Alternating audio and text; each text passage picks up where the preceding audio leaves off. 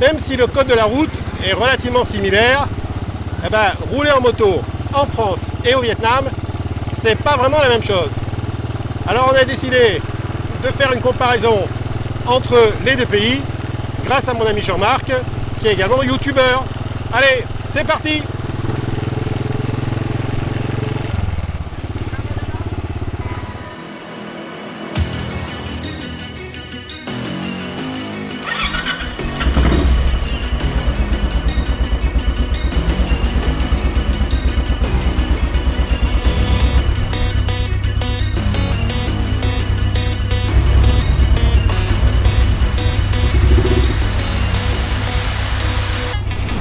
En effet, Philippe, j'ai ma petite chaîne sur YouTube, marque JMR.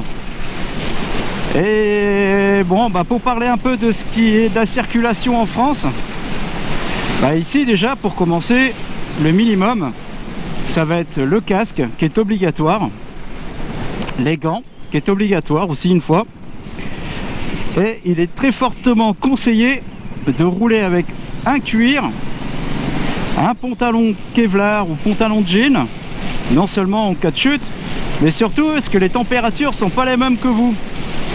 Il fait un petit peu plus frisqué. Et vous, chez vous, euh, Philippe, euh, qu'est-ce qui est obligatoire? Non mais... Non mais, qu'est-ce que tu fais là, Philippe? Qu'est-ce que tu nous fais là? Ah bah ici, ce qui est obligatoire de faire, c'est d'aller prier Bouddha avant de prendre la route. Ça, c'est obligatoire. hein. Un autre élément de sécurité qui est hyper important, c'est le klaxon. Et oui, il faut se faire entendre. Alors d'origine, sur la Royale, il n'y en a qu'un. Moi, j'en ai fait mettre deux, comme vous pouvez le voir ici. Et c'est pas du luxe. Il y a une chose ici qui est strictement interdite, c'est de téléphoner au guidon, au guidon ou au volant. Si on veut téléphoner, ou on s'arrête, ou alors on s'équipe d'interphone euh, qu'on met sur le casque, ou tout simplement on téléphone pas. Euh, c'est encore plus simple. Il faut garder euh, toute la vigilance sur la route et ne pas être préoccupé par la, par la conversation. Bah, disons que ici, théoriquement, les téléphones sont interdits en moto. Mais euh, euh, théoriquement, tu vois. Et puis, il n'y a pas que le téléphone, puisque finalement, tu es obligé d'éviter un certain nombre d'obstacles, on va dire, euh, qui se trouvent euh, inopinément sur ta route.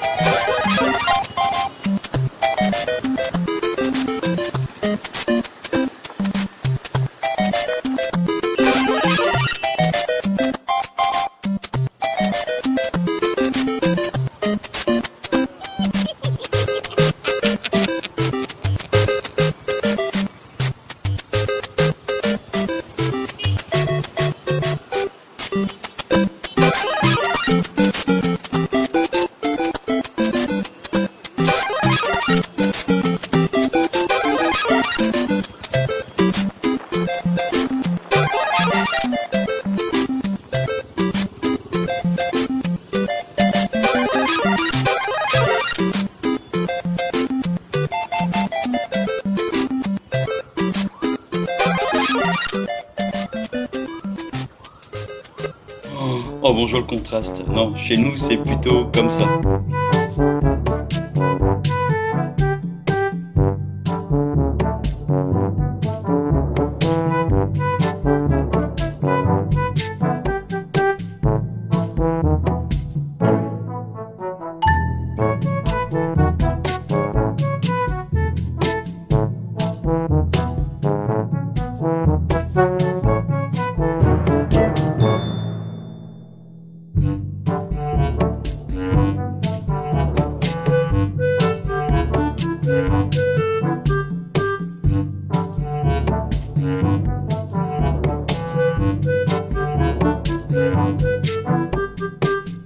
Ce panneau-là, vous le connaissez. Ça veut dire qu'on ne peut pas prendre cette rue. Ça s'appelle un sens interdit. Hein Ok? Euh, Enfin, normalement.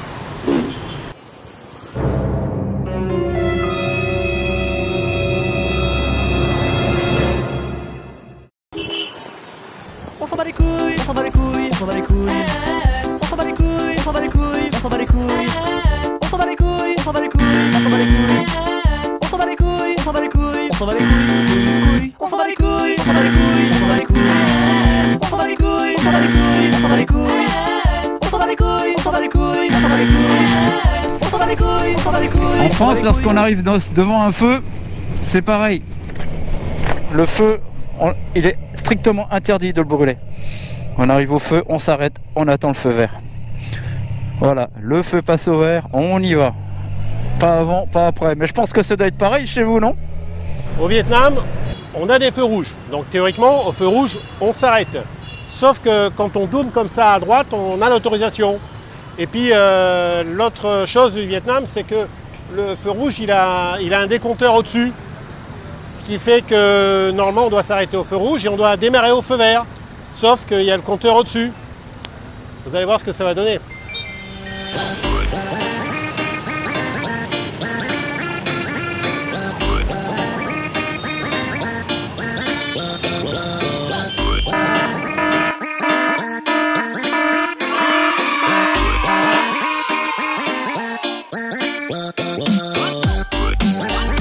Donc en fait, si je comprends bien, quand le feu est rouge, comme ici, eh ben on continue à circuler et on n'attend pas que le feu soit vert pour repartir. Eh ben, c'est un petit peu l'anarchie chez vous. hein. Je pense que c'est vachement mieux de circuler ici, quoi. On est beaucoup plus en sécurité.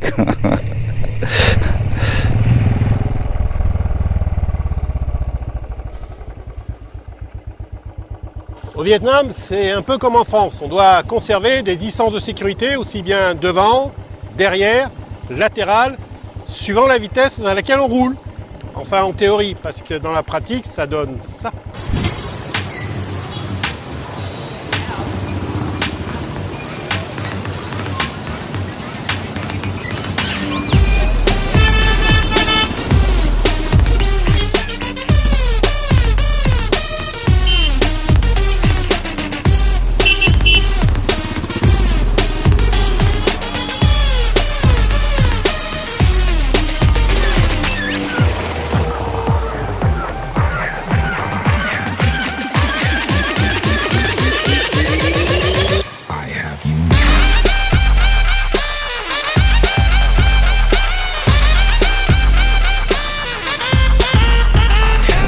Ici, quand on a des piétons qui veulent traverser, ils ont juste à se mettre sur le bord de la route et hop, on s'arrête, on laisse passer, on remercie.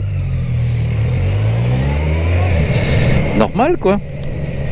Alors ça, c'est réellement très différent parce que tu vois, euh, la plupart du temps, eh ben, il faut éviter les piétons.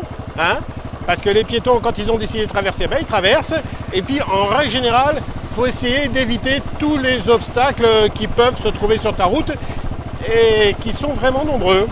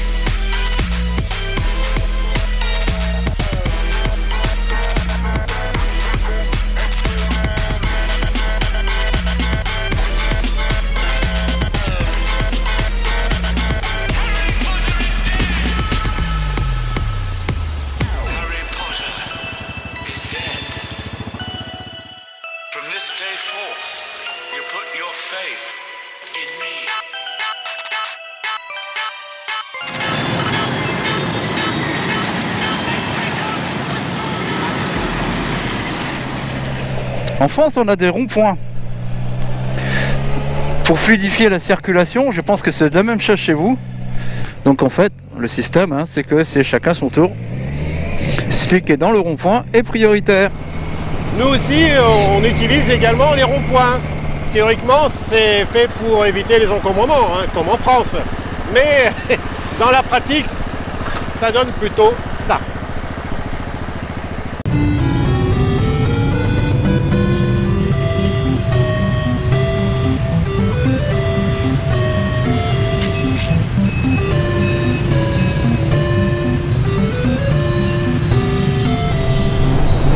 ça. d'après ce que je viens de voir, c'est quand même plus cool de rouler ici qu'au Vietnam. Ici, les gens respectent plus le code de la route quand même. Ils sont un petit peu plus disciplinés. Euh, Chez toi, on dirait qu'il règne quand même une petite ambiance euh, d'anarchie, non? Bon, sincèrement, l'avantage du Vietnam, c'est qu'on roule doucement. Et donc, euh, finalement, en ville, eh ben, il y a des petits accrochages, mais il n'y a jamais de choses qui sont euh, très graves. Euh, si tu roules vite, ici au Vietnam, euh, que ce soit en ville ou que ce soit à la campagne, eh ben, tu as intérêt à plutôt réserver ta chambre d'hôpital à l'avance, hein, parce que ouais, ça va cartonner. Euh, un Vietnamien, s'il a envie de te couper la route, eh ben, il te coupera la route et, c'est à toi de, l'éviter. Voilà, grosso modo, c'est à peu près ça. Donc, ce qui, en ville, par exemple, bah, c'est vrai qu'on va rouler relativement cool avec des tenues décontractées parce qu'il fait très chaud. Il faut savoir que la température sur le goudron, ça monte jusqu'à 45 degrés. Donc, c'est énorme. Par contre, dès que tu sors de la ville, tu as plutôt intérêt à, avoir un équipement de sécurité plutôt efficace. Donc, euh, un casque plus, sécu- plus sécurisé, moins ventilé, mais plus sécurisant avoir, euh, bah, comme en France, un peu des gants, des bottes, euh, des jeans, des blousons de protection. Donc, ma tenue aujourd'hui que j'ai devant vous, bah, c'est uniquement quand je fais de la ville et parce que je roule rarement à- au-dessus de, on va dire, de 35-40 km/h. C'est la vitesse maximum ici. Voilà. Ouais, ben désolé, hein. moi je préfère mes petites routes bretonnes, tu vois. Si ça te dérange pas. hein. En attendant, n'oubliez pas de vous abonner à ma chaîne, Marc JMR, et également à la chaîne Royal Enfield Passion. Ben, merci à toi Jean-Marc. Et puis euh, ben, si vous avez aimé cette vidéo, n'oubliez pas de mettre un petit pouce bleu. Et puis moi je vous retrouve euh, bientôt dans, dans, un- dans une nouvelle vidéo, tout simplement. Voilà.